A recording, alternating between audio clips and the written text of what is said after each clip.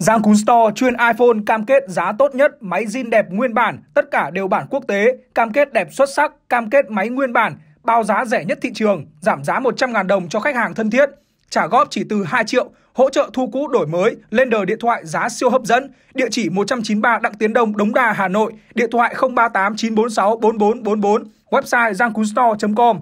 Xin chào anh em đã quay trở lại và vẫn sẽ như thường lệ thì ngày hôm nay bọn mình sẽ gửi tới cho anh em những tin tức công nghệ đáng chú ý ngay sau đây.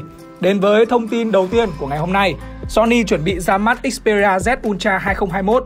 Người hâm mộ điện thoại Sony có thể vui mừng khi công ty vẫn tung ra một vài thiết bị cầm tay mỗi năm, mặc dù có những sản phẩm không bao giờ thành hiện thực. Giờ đây thì một nguồn tin dò dỉ gợi ý rằng Sony sẽ tung ra một thiết bị hoàn toàn mới vào năm 2021.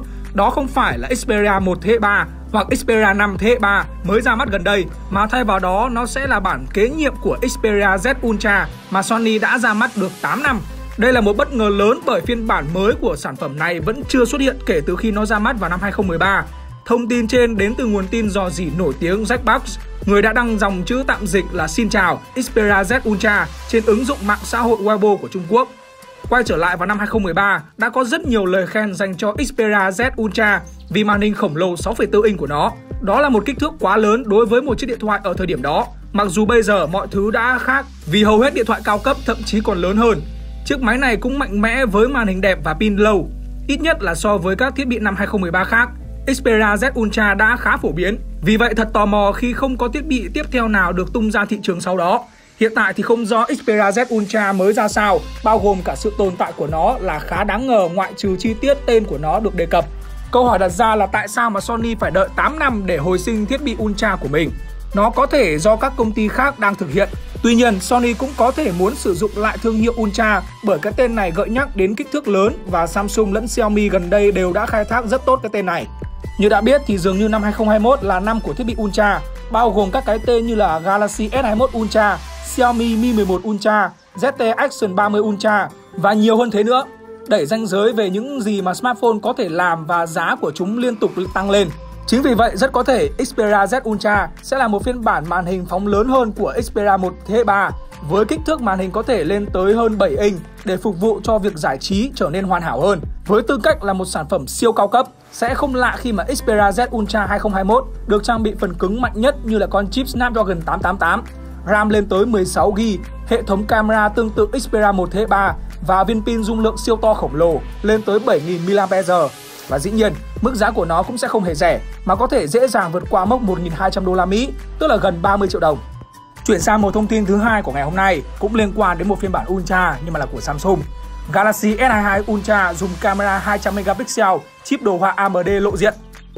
Trong tháng 3 năm 2021, bộ phận sản xuất chip của Samsung thực sự cho thấy rằng cảm biến 200 megapixel sẽ sớm ra mắt. Giống như trường hợp của cảm biến 108 megapixel đầu tiên từ công ty, Xiaomi dự kiến sẽ tung ra một chiếc điện thoại có camera 200 megapixel trước Samsung mà cụ thể là mẫu Mi 12 như trong video gần đây bọn mình đã từng chia sẻ. Cảm biến 200 megapixel của Galaxy S22 Ultra được đồn đại có điểm ảnh là 0,64 micromet. Việc Samsung trang bị camera 200 megapixel trên sản phẩm cao cấp nhất vào đầu năm sau là điều khá bất ngờ khi mà một báo cáo trước đó nói rằng công ty Hàn Quốc đang xem xét lại chiến lược máy ảnh của mình. Có lẽ là vì máy ảnh megapixel cao không tạo được nhiều dấu ấn Điều đó có nghĩa cảm biến Samsung HM3 108 megapixel trên Galaxy S21 Ultra có vẻ như chưa thực sự đáp ứng theo ý muốn của công ty. Mặc dù đó vẫn là một trong những smartphone tốt nhất để chụp ảnh. Dòng Galaxy S22 được cho là sẽ không ra mắt sớm và rất nhiều điều về tính năng trên máy có thể thay đổi giữa thời điểm hiện tại và ngày ra mắt trong quý 1 năm 2022. Một báo cáo gần đây cho biết dòng Galaxy S22 sẽ không đi kèm cảm biến Time of Flight. Điều không quá ngạc nhiên vì nó cũng bị loại khỏi Galaxy Note 20 và S21. Công nghệ này dường như không phục vụ cho một mục đích có ý nghĩa nào vào lúc này. Báo cáo cũng gợi ý rằng Galaxy S22 sẽ đi kèm với hệ thống camera mang nhãn hiệu Olympus.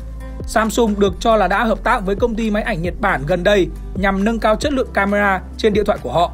Chưa dừng lại ở đó, các điện thoại mới này dự kiến cũng đi kèm camera dưới màn hình và chúng có thể tích hợp chip xử lý Exynos, tích hợp nhân đồ họa AMD, giúp gia tăng hiệu năng chơi game tốt hơn so với đối thủ Snapdragon đến từ Qualcomm. Và đến với thông tin cuối cùng của ngày hôm nay, Apple lãi đậm nhờ iPhone. Apple vừa công bố báo cáo tài chính quý 2 năm 2021 với hàng loạt con số ấn tượng.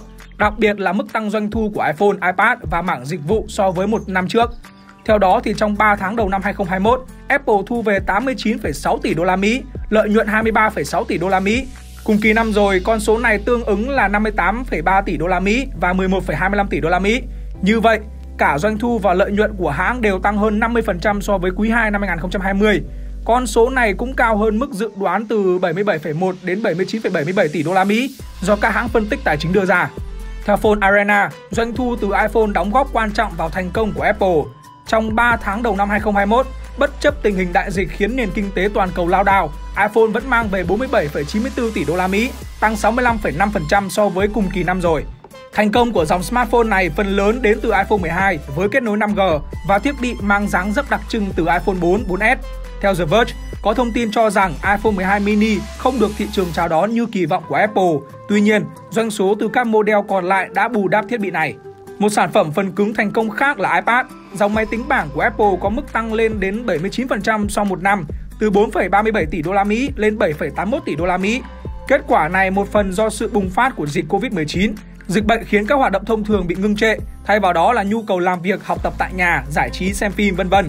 Doanh thu từ mảng dịch vụ bao gồm Apple Music, Arcade, TV cộng, News cộng, Apple Pay, App Store, iCloud, Apple Care cộng, vân vân đạt 16,9 tỷ đô la Mỹ, tăng 26,6% so với quý 2 năm 2020. Đây là con số tăng trưởng theo quý cao kỷ lục của lĩnh vực này. Đặc biệt, giám đốc tài chính của Apple, Luca Mastri, tiết lộ tổng thuê bao trả phí cho các dịch vụ đã lên đến mốc 660 triệu người dùng. Mảng thiết bị đeo, gia đình và phụ kiện với hai sản phẩm chủ lực là Apple Watch và AirPods mang về 7,84 tỷ đô la Mỹ, tăng 24,8% so với mức là 6,28 tỷ đô la Mỹ của năm trước. Doanh thu từ máy tính Mac, sản phẩm phần cứng truyền thống của Apple cũng tăng 70% so với 3 tháng đầu năm 2020, góp thêm 9,1 tỷ đô la Mỹ vào túi tiền khổng lồ của hãng. Bên cạnh kết quả kinh doanh thuận lợi, Apple thông báo sẽ chia cổ tức bằng tiền mặt với mức 0,22 đô la Mỹ trên một cổ phiếu vào ngày 13 tháng 5. Hội đồng quản trị của hãng cũng chi 90 tỷ đô la Mỹ để mua lại cổ phần.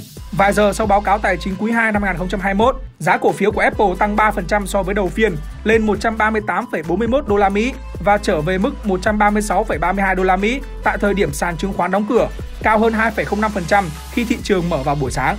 Và vậy thôi, trên đây là tất cả những thông tin mà bọn mình muốn mang tới cho anh em trong ngày hôm nay. Anh em cũng đừng quên là hãy bấm like và subscribe thật nhiều để ủng hộ cho kênh. Còn bây giờ thì à, xin chào và chúc anh em có một ngày làm việc cuối cùng thật vui vẻ trước kỳ nghỉ lễ 30 tháng 4 và mùng 1 tháng 5 sắp tới. Hẹn gặp lại anh em ở những video tiếp theo.